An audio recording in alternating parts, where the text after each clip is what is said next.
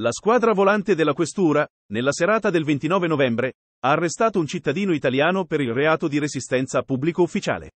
Nello specifico, la centrale operativa inviava gli equipaggi in corso Milano, poiché sul numero unico emergenza 112 in serata giungevano diverse segnalazioni di un ragazzo in evidente stato di agitazione che urlava ai passanti brandendo un coltello da cucina.